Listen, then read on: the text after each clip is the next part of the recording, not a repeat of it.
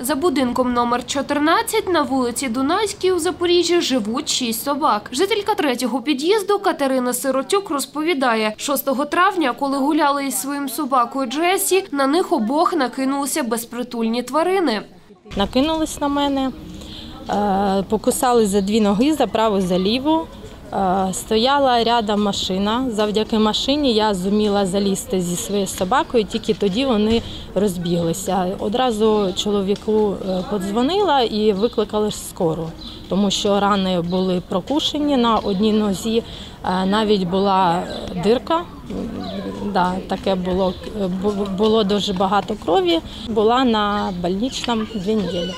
Собаки можуть нападати на людей, зокрема, коли вони конкурують за територію з домашніми псами, яких вигулюють у господарі, каже інструктор-кінолог. Если вас окружили собаки, которые... Якщо вас оточили собаки, які не мають господарів, намагайтеся тримати їх усіх у полі зору. Адже якщо ви випустите хоча б одного, він може на вас кинутися. Дивитися в очі не бажано. Він може сприйняти це як виклик. Коли бачите, що вас атакують пси, назад відходити трохи небезпечно. Потрібно вбік, дивлячись бічним зором, де знаходяться ці пси. Бігти не можна. Якщо у вас в руках є предмет, намагайтеся їм прикритися. Якщо гуляєте зі своїм собакою і він великої породи, можна не заважати собаці себе захищати. Не відпускаємо пса на всю довжину повідка і намагаємося відбуватися чимось. Якщо вас все ж таки вкусив пес, намагайтеся, якщо виставили руку, ніколи не йти від собаки, а йти за нею, тим самим мінімізуючи травми на руці. Протягом травня-червня собаки з Дунайської 14 нападали на людей сім разів, каже Катерина Сиротюк. Зокрема, 30 червня покусали за ногу перехожу. Їй викликали швидку. Жителька восьмого під'їзду Анна Бенчак розповідає, боїться гуляти позаду будинку разом із дитиною. Ми з сином ходили е, за будинком, і ця зграя собак взяла нас у коло. Якби не підійшов чоловік мій, я не знаю, що б сталося. Бо це дійсно це страшно, коли на тебе нападають собаки. За словами Анни Бенчак, ці собаки живуть позаду будинку близько року. Нині їх підгодовують волонтери тимчасового притулку перетримки для безхатніх тварин «Шанс». До них та до міського комунального підприємства «Побутовик» люди зверталися і просили допомоги. Також шукали її у міського голови Володимира Буряка. Казали, що е, пройшли програму стерилізації, прививок усіх, але ж вони агресивні. Ми ж е, нехай у них нема більшинства там. Ну, вони агресивні. Там хтось проходить, вони одразу вилітають цією сворою, гавкають, нападають, хто з собакою гуляють, всіх кусали. А що в шансі казали?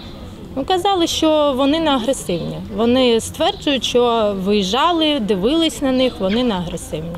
30 квітня від інспекції з благоустрою Запорізької міської ради жителям будинку надійшла відповідь, в якій зазначено, що фахівці комунального підприємства «Побутовик» виїжджали за цією адресою. Виявили собак жіночої статі, стерилізованих волонтерами, та собак чоловічої статі, які не підпадають під дію програми поводження з тваринами у Запоріжжі. Також зазначено, що відловлювати безпритульних тварин із метою стерилізації не можна без подальшого їхнього повернення на місце вилову через відсутність місць постійного утримання тварин.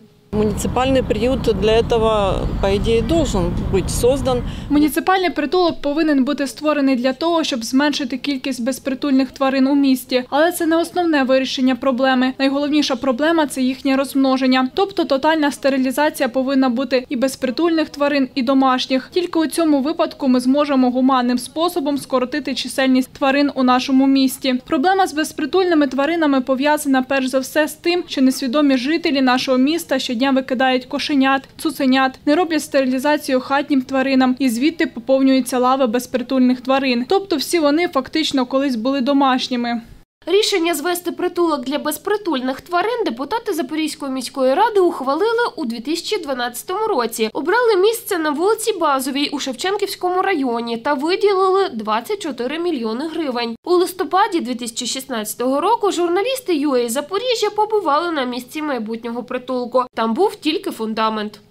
Минуло п'ять років, а ситуація не змінилася. На місці, де мав бути прихисток для тварин, нині проросли трава та дерева. Чому притулку для тварин досі немає? На що витратили кошти, які для цього призначалися? Та коли будівництво завершать? Ці питання журналісти Суспільного поставили в інформаційних запитах до інспекції з благоустрою Запорізької міської ради, комунального підприємства Побутовик та заступника міського голови з питань діяльності виконавчих органів ради Романа Тарана. Чекаємо відповідей у визначений законом термін. Дар'я Пасічник, Геннадій Корчененков, Олег Стругунов, Вадим Тимченко. Новини на Суспільному. Запоріжжя.